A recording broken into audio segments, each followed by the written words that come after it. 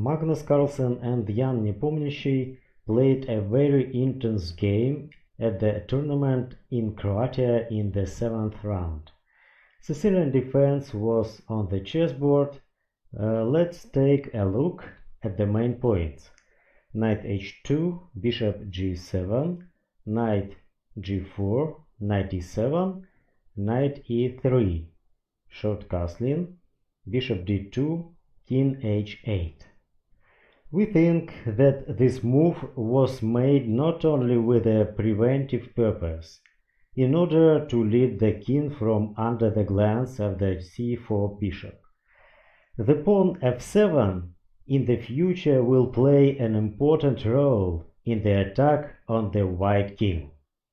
g4, rook b8, a4, knight d4, knight d5, knight d5, knight takes d5, knight e6, f3, knight f4, queen b1, bishop e6, queen e2, queen d7, rook g1, b6, bishop c3, bishop takes d5, bishop d5, a6, preparing b5 bishop d2, queen e7, rook f1, b5. Black wants to move c4, ab, ab, king f2, c4. White bishop loses the support of the queen. If d takes c, then b takes c, bishop takes c4, d5, bishop takes d5, f5 and king g3 covering the king because it cannot e takes f from queen c5 check double attack. King g3 knight takes d5 and black wins. Let's go back.